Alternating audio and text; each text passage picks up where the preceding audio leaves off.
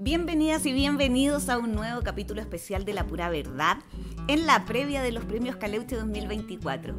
Bueno, como ustedes ya saben, estos premios son entregados por Chile Actores y reconocen las mejores interpretaciones del año en cine, series, televisión y humor. Bueno, obviamente que estamos ansiosos y ya queremos saber quiénes van a ser los nominados y nominadas de este año. Así que hemos preparado este ciclo especial de la pura verdad en que vamos a estar revisando en profundidad cada una de las categorías con algunos expertos en el tema.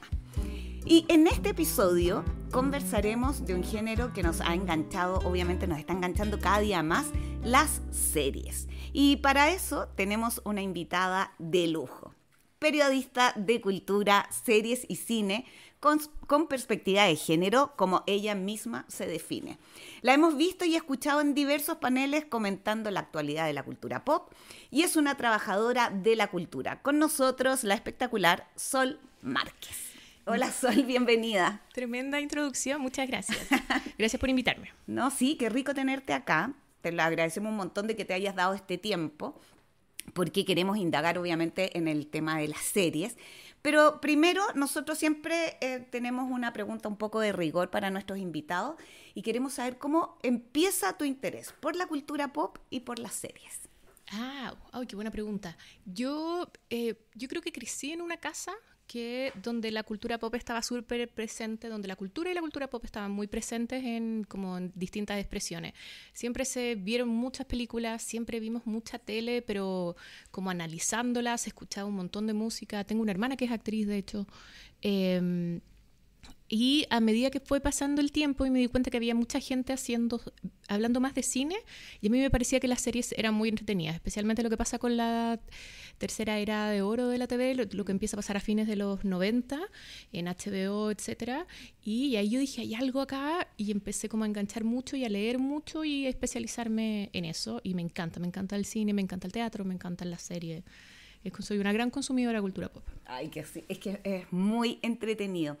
Oye, bueno, un poco las, las series eh, están, eh, son como el buque también ahí, emblema de las plataformas de streaming internacional sobre todo. Y aunque igual no han sido un poco el sostén de los canales de televisión, pero en Chile igual se hacen muy buenas series. ¿Cómo, cómo ves el, el desarrollo de este género en la televisión chilena? A mí me parece que los últimos, yo creo que serán cuántos, 20 años, un poco más incluso. Eh, hablemos desde los 2000 en adelante. Las series han, en, en, Chile han logrado un desarrollo increíble. Hay que pensar eh, como la diferencia de, la, de, lo que es una teleserie, que es algo que tiene, son eh, capítulos que tienen que estar al aire todos los días. Se pueden hacer muy buenas producciones en ese sentido, pero de todas maneras eh, tiene que ser un proceso mucho más rápido. Eh, en cambio, las series en general tienen una entrega que es semanal. Las plataformas de streaming a veces estrenan todo así para que se haga el famoso binge watching y, y uno ve, no sé, ocho capítulos de una sola patada y se vuelve loca haciendo eso, pero es entretenido también. Es buenísimo, eh, sí. Pero eh, tiene esta cuestión de la entrega semanal que es, hay mucho más tiempo para planearlas, para actuarlas, entonces tiene un nivel de producción mucho más alto, el costo también puede ser más alto y eh, hay que lograr enganchar a la gente para que vuelva en una semana. Hay que pensar que eso es súper difícil, entonces se desarrollan ciertos códigos eh, y yo siento que series como, no sé, Los 80, em, El Reemplazante, fueron series que generaron audiencias que se dieron cuenta de que una producción nacional de una serie podía ir mucho más allá, eh, no, que no tenía nada que envidiarle a una serie extranjera del norte global especialmente. Y eh, además siento yo cuando eh, los canales eh, o las plataformas de streaming empezaron a poner atención en lo que se estaba haciendo Chile, la producción especialmente cinematográfica, y se dieron cuenta que acá se podían hacer series muy buenas.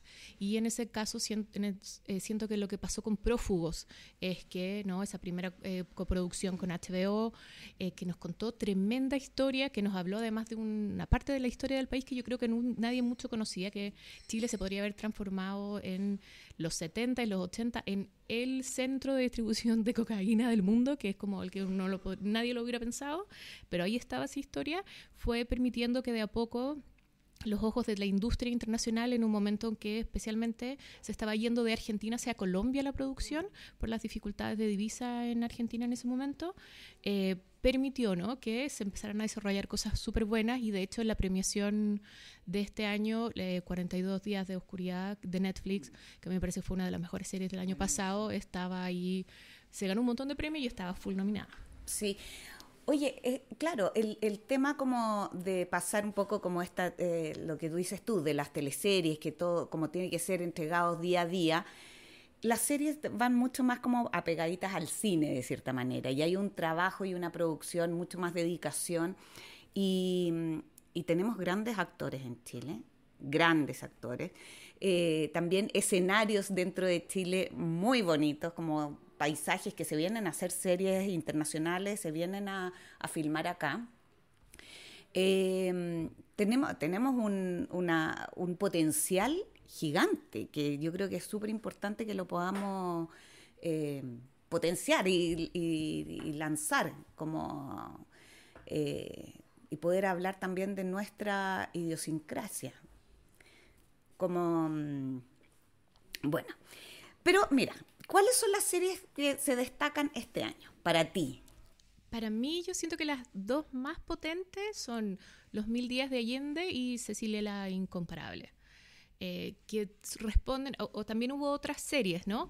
Pero siento que responden bastante a esta idea de como de una superproducción que uno espera, como y de eh, experimentar un poco con el lenguaje, especialmente con Cecilia el Incomparable, que tiene em, un guiño, me parece, en su forma y que eso me parece muy entretenido a eh, lo singular que era ella, ¿no? Eh, tiene una, cosas de musical, si alguien ha visto, no sé, pues si alguien vio Chicago, por ejemplo, la, hay una escena ahí que es muy como el tango del bloque de, las, de, las, de la celda en el fondo. Y esta idea de como de que la versión joven y la versión actual de ella, pensando que el presente en la serie está un poco como situado en los 80, eh, es súper interesante, es como una manera distinta de narrar las historias y a mí eso me parece súper atractivo. Y por el otro lado, Los Mil Días de Allende tuvo la personificación de Alfredo Castro como Allende, es como impresionante. Y es, eh, eh, me gustó mucho ese video que estuvo circulando de cómo era todo el trabajo de eh, prostética y, de maquillaje, que es igual como lo que vemos en películas o en series como Stranger Things, de cómo... Muchas horas tenía que pasar tratando de personificar ahí como Allende. Y, a mí me parece que eso es súper interesante además para que la, la, gente, el público, vaya entendiendo como todo lo que significa. Como valorando eh, este trabajo. Llevar a, a, la realización a un personaje. Que si bien las actuaciones son súper importantes, el casting es súper importante, elegir eh, a la actriz o el actor que va a dar con el tono de este personaje, pero que además se necesitan un montón de cosas, entre ellas maquillaje y vestuario. Y siento que lo que logró los Mil Días de Allende va como en un momento además en la conmemoración de los 50 años del golpe de Estado civil militar, siento que como fue súper importante, fue como... Eh, en un momento además que la atmósfera estaba bien compleja, ¿no? Eh, creo que fue como, eh, esta es parte de nuestra historia, tenemos que conocerla, tenemos que hablar de ella. Totalmente. Oye, bueno, y hablando de Alfredo Castro, también está en otra serie que, se dio este año y que tiene que ver con En Terapia, que era igual una serie que se había grabado antes, o sea, como con un tiempo, con un par de años antes creo, y que logró salir a la luz este, este año. ¿Qué, qué, te pasó con esa serie? A mí me gusta mucho el formato de la serie. Es una, es una adaptación eh, local, en el fondo, de una serie que de HBO de hace varias, un par de décadas yo creo, eh, que tuvo muy buena eh, circulación y que tuvo un muy buen paso por las temporadas de premios gringas. Y a mí me gusta mucho además porque eh, es de esas series donde las que uno puede entrar y salir, esta idea de como de los capítulos autoconclusivos. claro, como, como unitarios. exactamente, el unitario que, que, si no viste el anterior puedes ver el, el, siguiente y yo creo que ese formato también funciona súper bien para gente que no está tan acostumbrada, que quiere como experimentar un poco con las series chilenas, que como todavía no se atreve, que tiene quizás algún tipo de prejuicio, entonces ingresa en ese tipo de producciones sirve mucho para enganchar al público. Y Alfredo me parece que, bueno, es que Alfredo es muy bueno. Es muy bueno, eso pasa. Pero me parece que lo hace súper bien porque tenía, eh, es una serie que se ha adaptado en varias partes del mundo. El, el, personaje original no me puedo acordar de su apellido, es Gabriel, estoy pensando Gabriel Burns, pero ese es un actor, un, un cantante, ¿no? Eh, no, eso es David Byrne, Gabriel Byrne se llama efectivamente. Él, eh, él lo hacía muy bien, es un personaje, eh, porque es un, es un, un terapeuta que tiene eh, a sus eh, pacientes, algunos están pasando por situaciones súper extremas, entonces él tiene que manejar esa situación al mismo tiempo que está tratando como de manejar su vida. Eh, es una actuación súper demandante. Entonces a mí me parecía también que es súper entretenida y insisto que la gente, si la quiere revisar, está disponible en TVN Play para que la vean y para TVN Play, ¿no? ¿O estoy inventando? Eh, En terapia está. Sí, sí en Play, sí. Para que vean eh, y ir conociendo además, porque cada eh, capítulo tiene un eh, actriz o actor invitado nuevo, que es un nuevo paciente de Alfredo Castro. Totalmente. Oye, Alma Negra, también una producción de Carlos Pinto, con, con, la historia de esta de la quien trae la chilena. ¿Pudiste verla?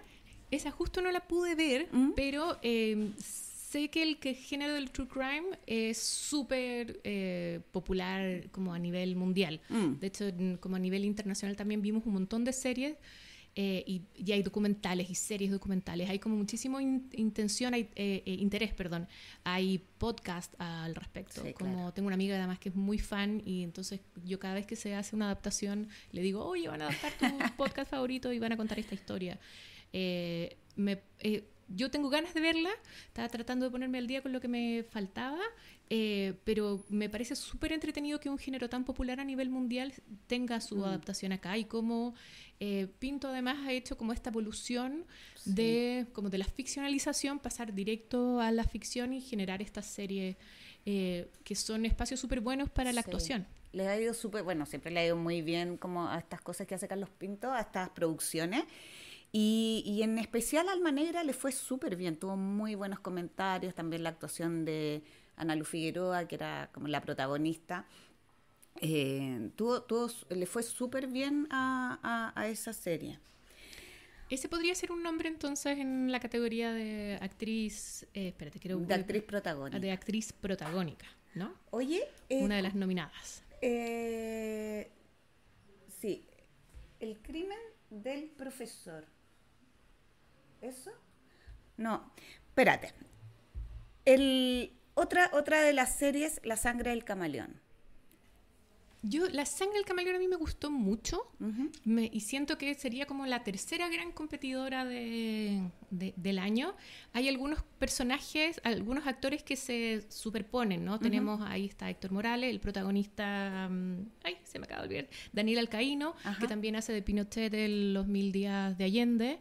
Entonces, quizás ahí podríamos tener un eh, actor protagónico y un actor de soporte. Daniel Alcaíno ha sido nominado en, en años anteriores.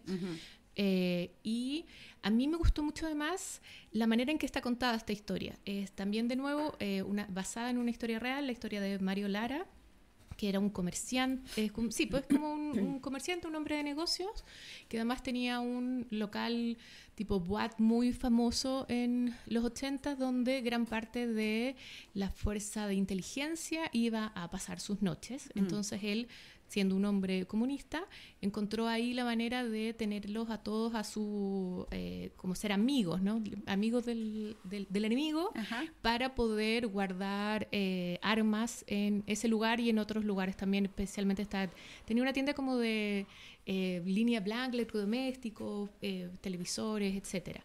Es súper interesante el papel de Daniel Alcaíno, me gusta mucho su actuación y siento además que, de nuevo, una propuesta distinta que eh, tiene una cosa como de mm, medio de comedia negra y media de thriller que hace que sea súper interesante verla.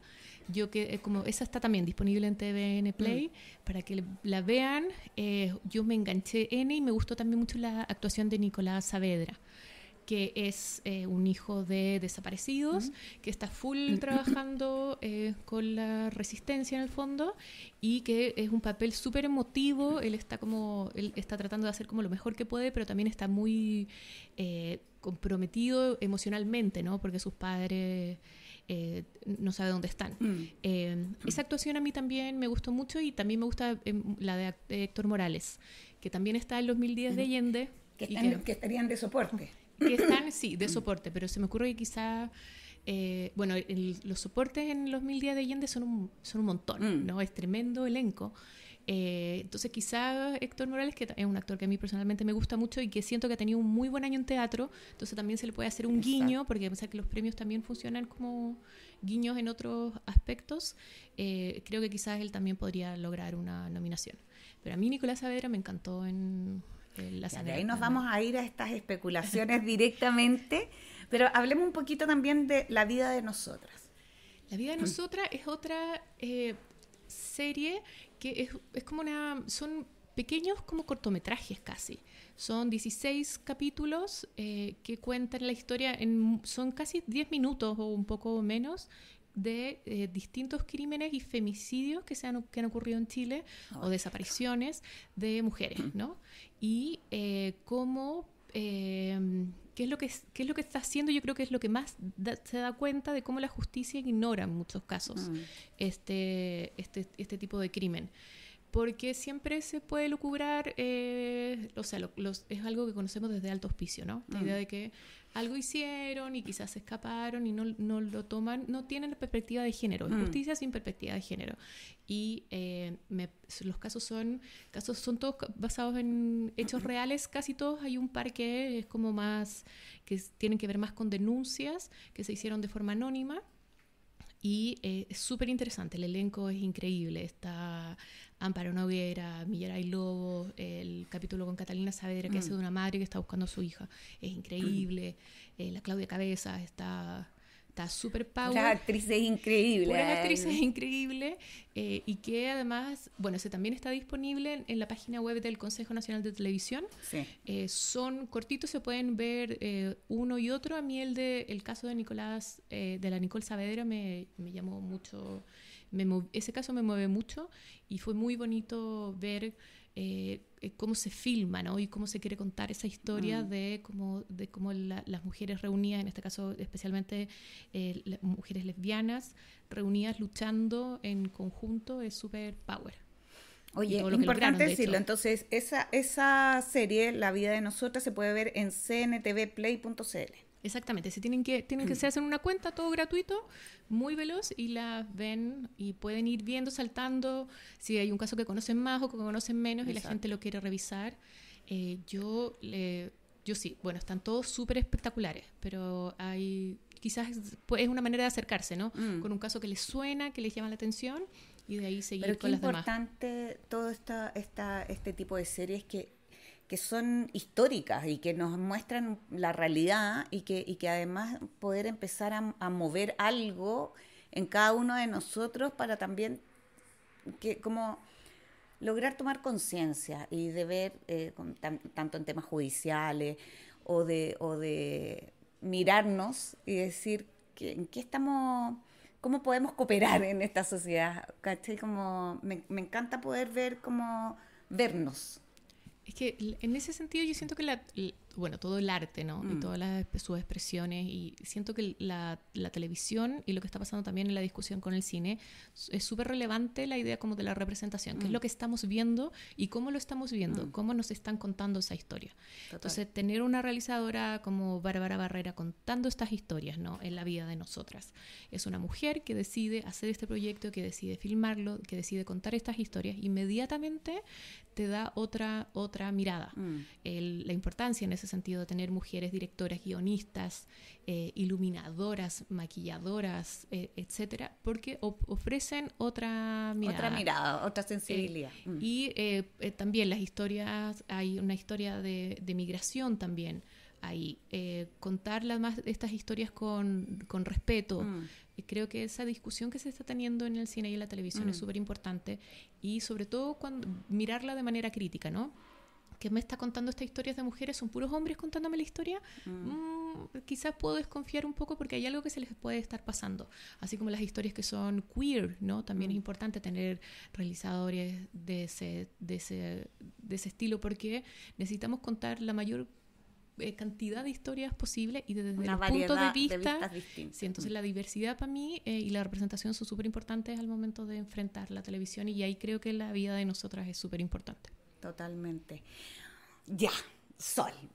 Vamos a meternos en materia un poco a especular, porque estamos hablando aquí de los premios Caleute. Entonces, si tú estuvieses, tuvieses que, eh, que decir quiénes son, ¿quiénes son tus cuatro elegidas como actrices protagónicas de serie? Eh, mis cuatro, ya, no sé, es que tengo las dudas yo de cómo va a quedar como armado, pensando que no hay tantas eh, roles protagónicos de mujeres necesariamente.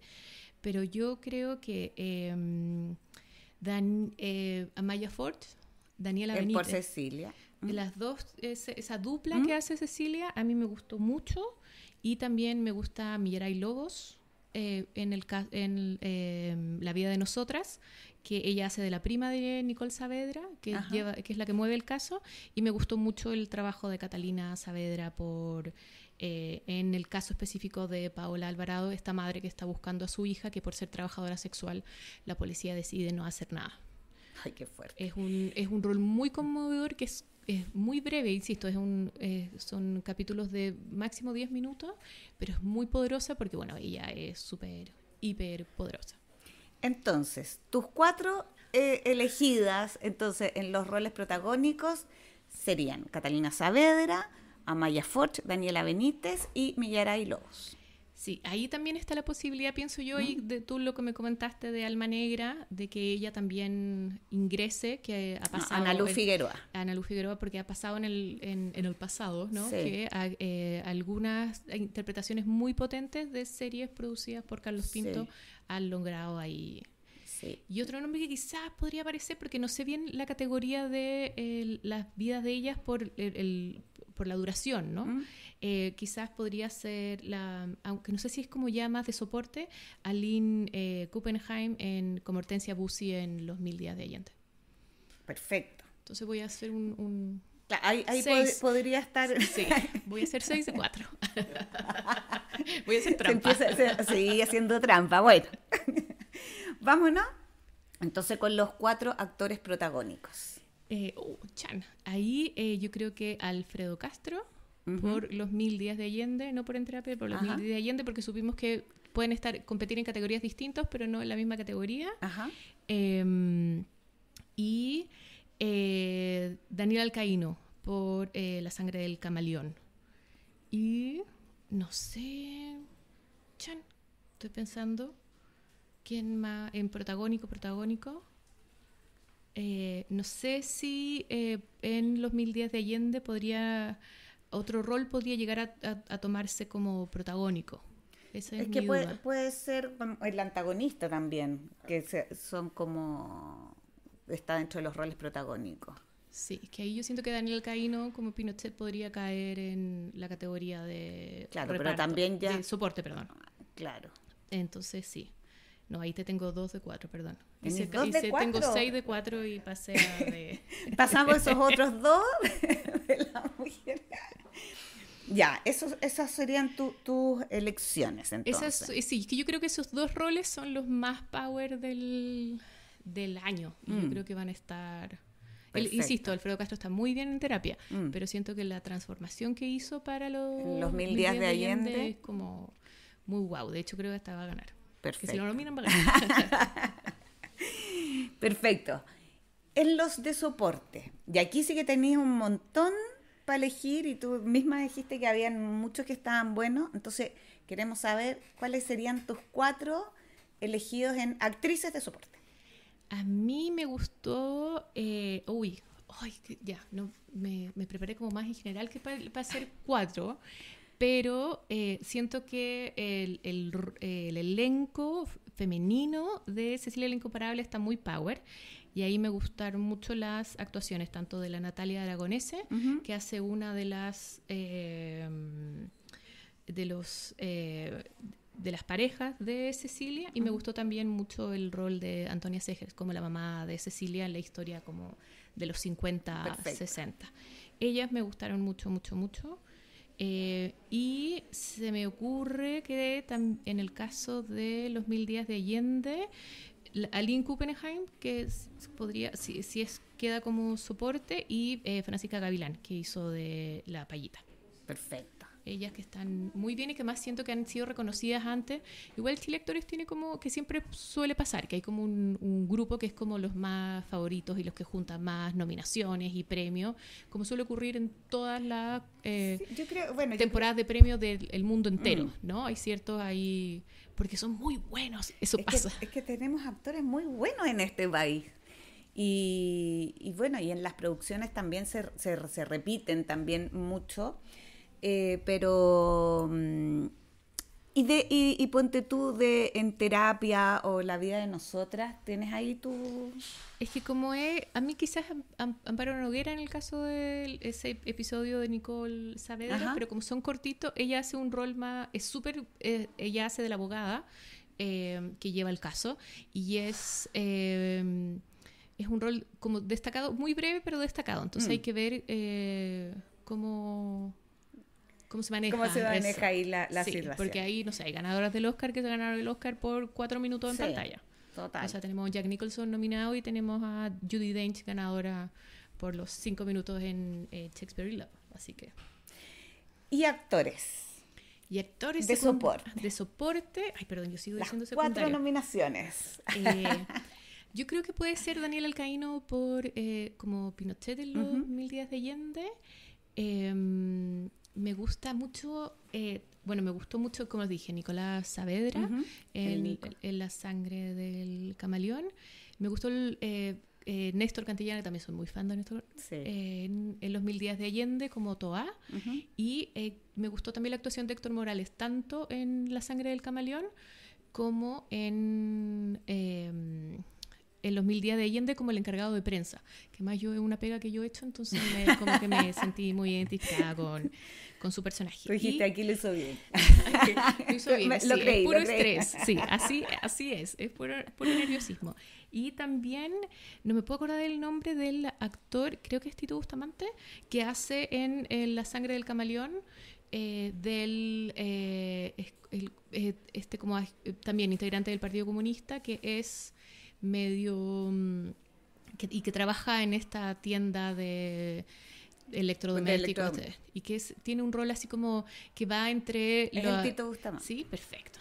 Que va entre como... Tiene una cosa muy dulce, pero también como ya, hay que hacer la pega y, mm. lo vemos desarmando televisores y, metiendo armas, al mismo tiempo que cuida a quien haya sido como eh, golpeado, torturado. Entonces me gustó mucho ese como eh, Como dualidad. Esa dualidad de ese personaje está muy, muy bien construido. Buenísimo. Ya, pues, tenemos entonces aquí las nominaciones según la Sol Márquez. Después tenemos que ver cómo van a ser las reales, que ya mm, en cual, no sé cuándo, ya falta poco, espero, para las nominaciones. Así que vamos a estar súper atentos. Sol, te agradezco un montón de que hayas venido a conversar con nosotros de esto que además te apasiona tanto, la serie, la cultura pop. Así que muchas, muchas gracias. Absolutamente. Sí, yo quería decir como antes de terminar que me, me parece, me encantan los premios Caleuche. porque llevan, no llevan tanto tiempo, pero por ejemplo, estaba pensando yo que los SAG Awards, los del Screen Actor Guilds en Estados Unidos, partieron recién en el 95 y han logrado una relevancia súper importante y a medida que pasa el tiempo los premios se van consolidando cada vez más. Por ejemplo, los BAFTA, ah, que hace un tiempo atrás no eran tan importantes, mm. los premios de la industria británica, ahora son súper relevantes en la carrera al Oscar. Y me encanta la idea además que sea en los mismos pares quienes reconocen el trabajo de sus pares. Porque siento yo que de, hecho yo pensaba quizás hay una actuación que a mí se me pasó, mm. y, pero que ustedes vieron y que saben que es como fabulosa y la van a destacar. Porque ustedes saben lo difícil que es hacer la pega Entonces me encanta que sea un premio de los pares y que sea un premio que se esté consolidando en el tiempo y que tenga categorías tan diversas. Me encanta mm. más que las series y miniseries están incluidas como categoría. Totalmente. Bueno, es súper importante lo que estáis diciendo. Hay un jurado que es el que nomina, que, que está representado desde muchos, desde directores, periodistas. Bueno, hay de todo una... Y, que, y ellos son los que nominan. Y después nosotros como actores vamos eh, votando para elegir al... Y es súper bonito, es verdad eso, que, nosotros mismos como gremio premiemos, porque además sabemos lo, que cuesta hacerlo, los personajes, la profundidad, pero también está el público que vota, y el público tiene su, eh, su favorito. Y también entonces estamos como todos incluidos en estos premios y es súper bonito. Yo también estoy muy contenta, además de poder estar, que estemos conversando de esto. Así que Sol, de nuevo, muchas gracias por estar acá. Y muchas gracias a todos los que nos están escuchando. Les mando un beso gigante y por supuesto los dejo invitadísimos para que no se pierdan el próximo capítulo de La Pura Verdad. Un beso para todos. Sol, un beso, gracias. gracias por invitarme, lo pasé muy bien. Qué bueno. chao, chao.